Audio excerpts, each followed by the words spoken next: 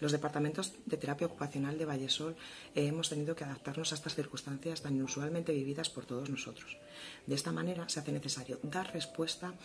y afrontar eh, los problemas que van surgiendo de esta situación de confinamiento e intentar minimizar el impacto negativo que pueda ocasionar en nuestro bienestar eh, psicológico, emocional, funcional y en el desempeño ocupacional de las personas mayores. Y comprometidos con un modelo de atención centrado en la persona, el cual se rige por unos valores donde la persona, independientemente de la edad, el grado de discapacidad o enfermedad, se la reconoce como un ser único valorado en su singularidad, donde se respetan su modo de vida, sus decisiones y sus valores.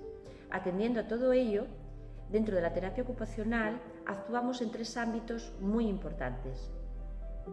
a nivel físico y funcional, fomentando la autonomía personal y los hábitos de autocuidado, pero siempre incidiendo en las recomendaciones de higiene que nos hace el actual protocolo que hace frente al COVID-19. Pues, por ejemplo, evitar toser en las manos, toser en el codo, lavarse mucho las manos, evitar el contacto físico con otras personas y demás medidas que recomienda. También resaltar que mantenemos la movilidad y la actividad física, ya que eh, queremos evitar la pérdida de capacidades eh, que a estas edades pues, es muy frecuente. Lo hacemos siempre de forma controlada y manteniendo las distancias, como ya se ha dicho anteriormente, y se puede hacer de dos formas, individualmente mediante paseos o grupalmente mediante la gerontogimnasia, a partir de ejercicios de estiramiento, ejercicios de fuerza y resistencia de miembro superior, inferior, tronco y cuello, o a partir de movilizaciones activo-pasivas.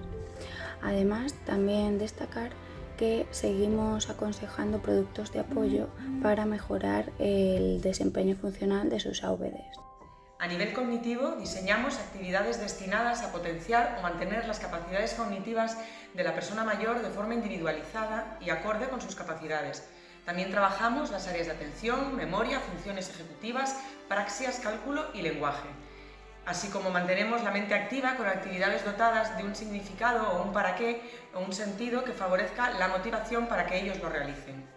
A nivel emocional, facilitamos el mantenimiento del vínculo afectivo familiar mediante el uso de las nuevas tecnologías como pueden ser las videollamadas o los mensajes por email y así evitamos eh, sentimientos de soledad en nuestros mayores.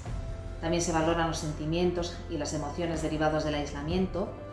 facilitando la expresión de aquellos que sean negativos, y así pues basándonos en la historia de vida de cada, de cada persona podemos hacer hincapié en aquellos momentos importantes de su vida que han ido superando con éxito.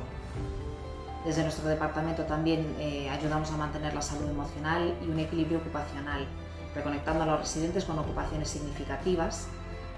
y así ayudando a, a mejorar su nivel de confianza y su nivel de autoestima. También se utiliza el sentido del humor y otras técnicas de distracción pues para, enfrentarnos a, a la ansiedad y a la incertidumbre generada por la crisis del COVID-19.